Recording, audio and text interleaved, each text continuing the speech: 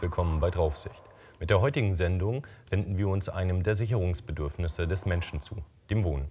Seit unsere Vorfahren in die ersten bemalten Höhlen eingezogen sind, sind schon ein paar Jahre vergangen und der Einheitskatalog einer schwedischen Möbelfirma ist zum Ausdruck allgemeiner Individualität geworden.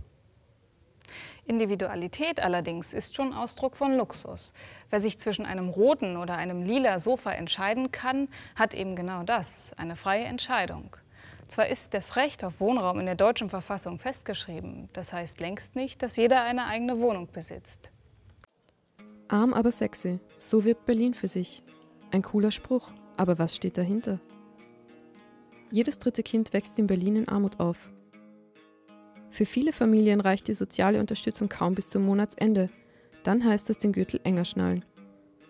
Unzählige Hilfsprojekte, Beratungsstellen, Kältebusse, Notübernachtungen kümmern sich um die, die nicht einmal genug zum Wohnen haben. Doch ist das wirklich sexy? 11.000 Menschen in Berlin haben keine Wohnung, schätzen Sozialarbeiter. Rund 350.000 sollen es in ganz Deutschland sein, darunter um die 7.000 Straßenkinder.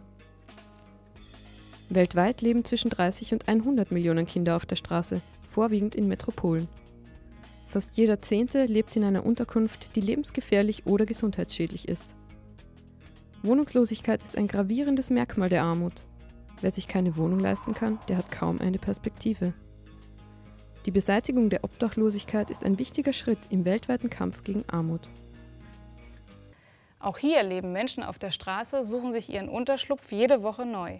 Wie sehr ein fehlendes privates Rückzugsgebiet das Leben beeinträchtigt, spüren auch in Deutschland die, die keine eigene Bleibe haben.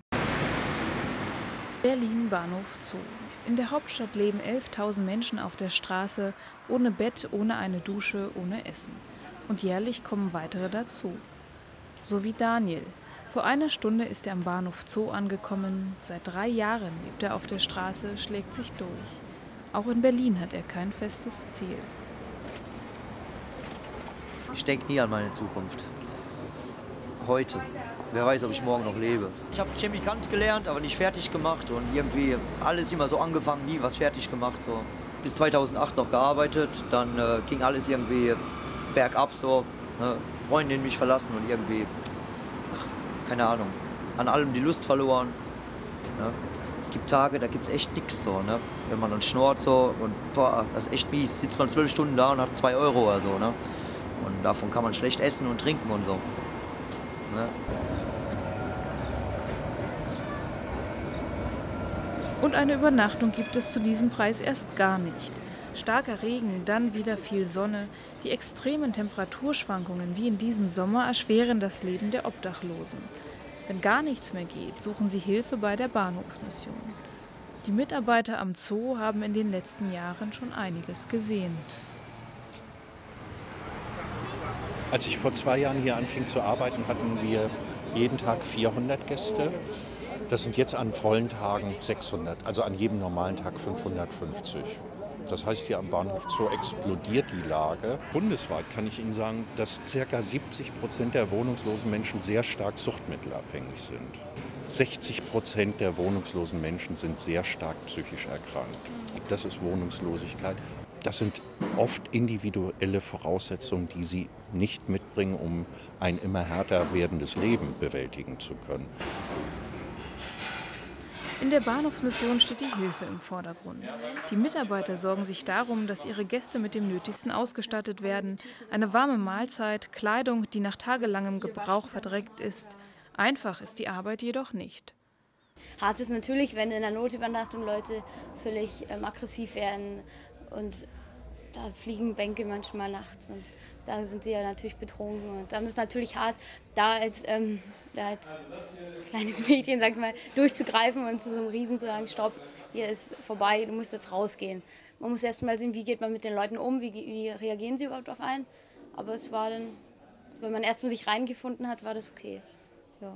Am meisten Spaß macht mir, wenn man was getan hat, was wirklich im Nachhinein irgendwas bewirkt. Also wenn man wirklich sagt, ich kann jemanden irgendwo hin vermitteln und man merkt, dem Menschen wurde wirklich geholfen damit.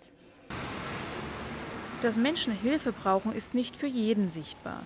Berlin ist bei Touristen so beliebt wie nie zuvor. Von den Problemen bekommen die Besucher wenig mit. Doch der Touristenansturm und die Popularität haben ihren Preis. Immer mehr Menschen wollen in der Hauptstadt leben. Immobilien werden teuer saniert. Die Politik verspricht, dagegen zu halten, wenn Wahlen anstehen. Was in Berlin eine ultramäßig harte Sache ist, die Mieten steigen an. Und das betrifft alle Leute. Sie finden irgendwann kaum bezahlbaren Wohnraum in sogenannten Einpersonenhaushalten. Es gibt auf jeden Fall Kapazitäten, diese Leute unterzubringen, weil in Deutschland muss niemand eigentlich auf der Straße leben. Und wenn es keine gibt, müssen sie geschaffen werden. Um sogenannte Kapazitäten zu schaffen, braucht es Menschen, die sich einsetzen, wie die 19-jährige Jana Grösche. Seit zwei Jahren arbeitet sie mit Obdachlosen. Für ihre Freunde undenkbar. Viele können sich das nicht vorstellen, sagen zu mir, oh Gott, wie kannst du das? Und finden es aber alle super, aber selbst machen würde es eigentlich keiner. Also es ist ja auch schwierig, wie geht man auf den Menschen zu und wenn man daran keine Erfahrung gemacht hat, hat man natürlich erstmal Berührungsängste. Dabei sind die Wünsche der Menschen auf der Straße wie die viele andere auch. Also ein Lux-Apartment wird mir nicht gefallen, aber so eine kleine Wohnung, Lux-Apartment wird, nee, ich stehe da nicht so drauf. Ich brauche das eigentlich nicht, weißt du. Daniel wird in ein paar Wochen weiterziehen. Spätestens im Winter ist auch er wieder auf die Hilfe sozialer Einrichtungen angewiesen. Wie stark die eigenen vier Wände das Wohlbefinden schützen, wird erst dann bewusst, wenn sie nicht mehr existieren. Doch nicht jeder braucht die absolute Privatsphäre. Die Kommunen haben es in den 70er Jahren vorgemacht und noch heute suchen Menschen die Gemeinschaft. Nach den Grundbedürfnissen wie Schlafen, Trinken und der ausreichenden Versorgung mit Nahrungsmitteln ist es für den Menschen erstrebenswert, sogenannte Sicherungsbedürfnisse abzudecken. Dazu zählt unter anderem auch das Wohnen. Neben dem eigentlichen Sicherungsaspekt ist das Wohnen aber auch Ausdruck gesellschaftlicher und politischer Orientierung. Berlin wird als arm, aber sexy vorgestellt und vermarktet. Das Leben in der Hauptstadt soll im Gegensatz zu London oder Paris noch günstig sein und es soll noch Freiräume für Kultur und alternative Initiativen geben. Zahlen zeigen jedoch eine andere Realität. Die Mieten sind in den letzten zwei Jahren im Durchschnitt um 8 Prozent gestiegen, schneller als je zuvor. Der Immobilienmarkt ist zum Spekulationsobjekt geworden. Mietwohnungen werden in Eigentums- oder Ferienwohnungen umgewandelt und Freiräume für Kultur- und soziale Projekte abgeschafft. Viele können sich nicht mehr leisten, in der Innenstadt zu wohnen. Unter dem Motto Wir bleiben alle verteidigen viele Initiativen das Recht zu bleiben. Sie engagieren sich unter anderem dafür, dass die Wohnungen für ärmere Leute bezahlbar bleiben. Wir haben einen Aktivisten von der Kampagne Steigende Mieten stoppen getroffen. Er stellt uns die Kampagne vor. Es begann im Herbst äh, 2008. Da wurde eine Demonstration Hop Hop Hop Mietenstopp, die Ende November 2008 war, angefangen zu planen. Und danach gingen diese Treffen dann weiter. Viele Menschen aus unterschiedlichen Berliner Stadtbezirken, von überall kommen die her und äh, beteiligen sich so gut sie können dann an den Kampagnentreffen. Die Kampagne fokussiert nicht nur bestimmte Stadtviertel. Die Mitglieder sind der Überzeugung, dass Mieterinnen und Mieter sich selbst organisieren sollen, um gegen die Verdrängung und Mietsteigerungen zu kämpfen. Wir beteiligen uns an Ständen, Infoständen oder eben auch an ähm, wenn Veranstaltungen von Parteien sind, äh, gehen wir dahin, verbreiten Informationsmaterial und Stadtvernetz nennt sich das. Und das plant eine Demonstration am 3. September 2011 und daran beteiligen wir uns auch. Was fordern die Leute, die in der Kampagne mitmachen? Ja, das generelle Problem ist, dass ja jeder Mensch eine Wohnung haben sollte und nicht nur die Menschen, die äh, reich sind. Deswegen haben wir da auf dem Aufkleber auch stehen, ähm, niedrige Miete statt hoher Profite. Gentrifizierungsprozesse betreffen nicht nur Mieterinnen und Mieter, sondern auch alternative Projekte, die sich in Kitzen für das soziale Leben einsetzen. Die Wagenburg-Lohmühle in Treptow ist ein kulturelles und ökologisches Projekt, in dem knapp 25 Menschen alternativ wohnen. Für mich ist eigentlich besonders, dass es ein unkommerzielles Projekt ist. Das heißt, jeder, der hier daran mitarbeitet, verdient keinen Lohn. Für Leute, die weniger Geld haben, beispielsweise engagieren wir uns kulturell in dem Sinne, dass wir natürlich einfach auch Veranstaltungen machen, an denen jeder teilnehmen kann. egal ob er Geld hat oder nicht. Die Wagenburg liegt ideal an der Grenze zwischen Kreuzberg und Treptow direkt am Kanal. Der Wert des Grundstücks wirkt sich jedoch nicht zugunsten des Projekts aus. In den ersten Jahren gab es einen großen Räumungsdruck. Na, die Zukunft des Projektes ist zurzeit erstmal für die nächsten fünf Jahre gesichert.